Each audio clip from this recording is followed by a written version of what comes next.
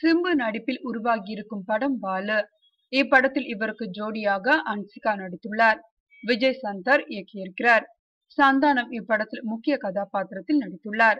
தமன் இசையமைத்துள்ளார். நிக் ஆர்ட்ஸ் நிறுவனம் தயாரித்துள்ளது. இந்த படத்தில் நடிக்கும் போது சிம்பு அன்சிகா காதல் பிரச்சனையால் சிறிது காலம் படப்பிடிப்பு முடியாமல் நின்றது. படத்தில் நடிக்க அன்சிகா மறுப்பு தெரிவித்ததாகவும் தயாரிப்பாளரிடம் சிறு பிரச்சனை என்றும் செய்திகள் வெளியாகின. அதன் பிறகு பிரச்சனைகள் எல்லாம் சுமூகமாக முடிந்து படப்பிடிப்பை தொடங்கினர். இறுதியாக படப்பிடிப்பை முடித்து பாடல்கள் ட்ரைலர் மற்றும் வீடியோ பாடல்கள் என வெளியிட்டு விட்டார்கள். படம் மட்டும் வெளிவரவில்லை. வாழு இரண்டாயிரத்தி பனிரெண்டில் படம் தொடங்கப்பட்ட நாள் முதலே தீபாவளி ரிலீஸ் என்று அறிவிக்கப்பட்டது. ஆனால் இரண்டு தீபாவளி கடந்தும் படம் மட்டும் வந்தபாடில்லை அதன் பிறகும் ரிலீஸுக்கு பல தேதிகள் குறிக்கப்பட்டு படம் அந்த தேதியில் வெளியாகவில்லை.